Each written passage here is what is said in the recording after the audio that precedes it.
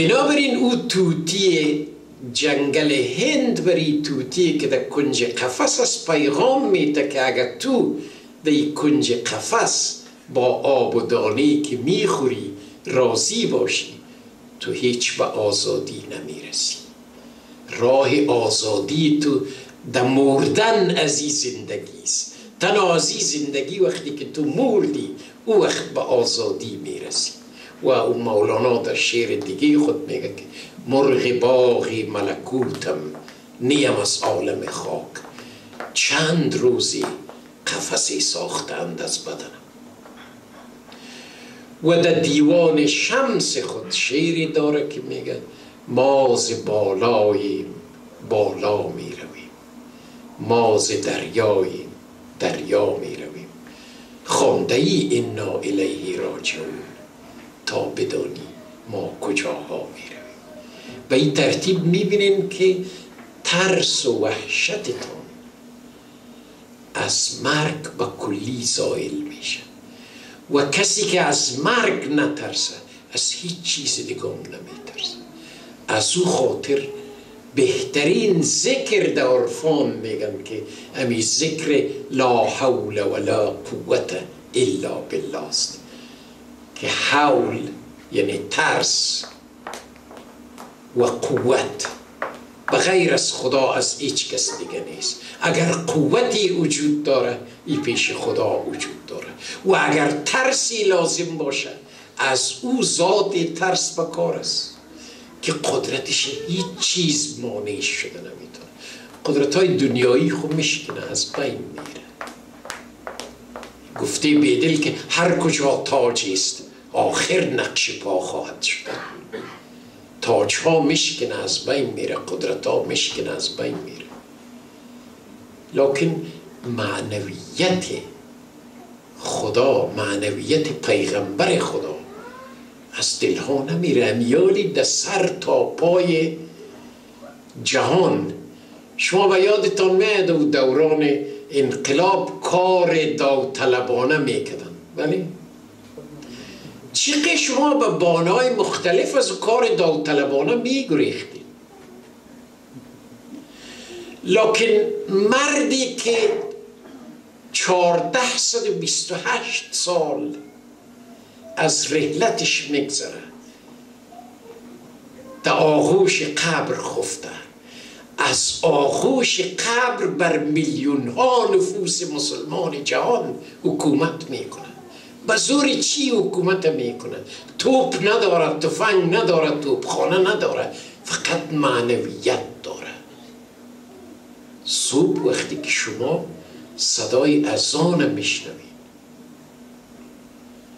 از خوی شیرین خود میخیزین بالای سرتان من نه چوب است نه درست نه متصب است نه زدن و گندن است. میرین وضو می‌گیرین.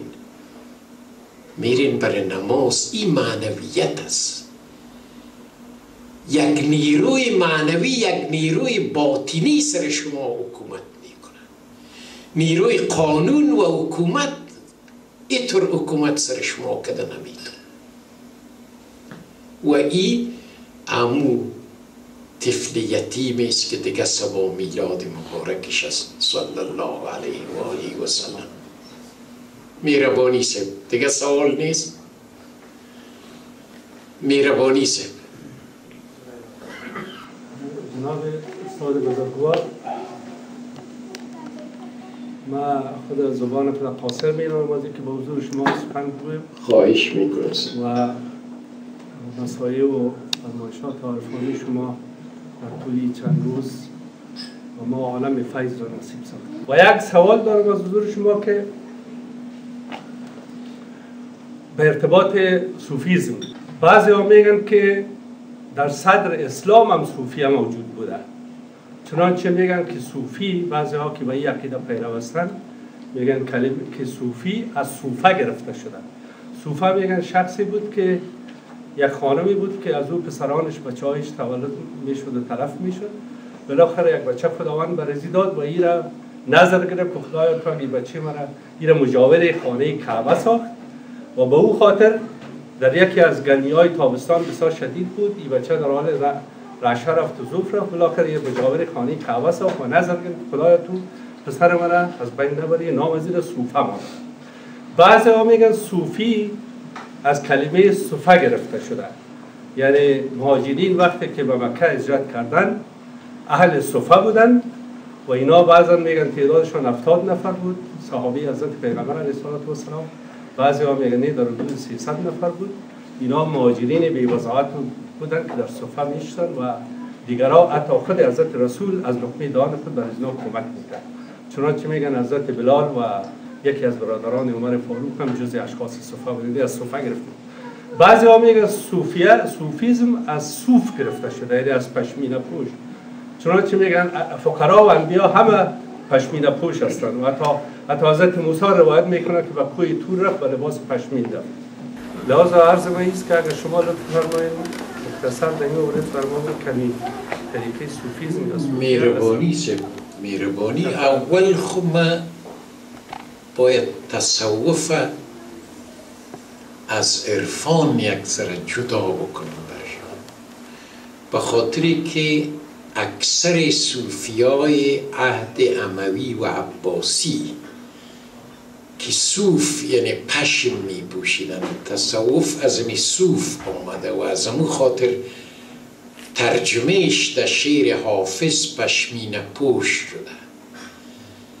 سرمست در قبای زرفشان چو بگذری یک بوسه نظر حافظ پشمین پوش کن.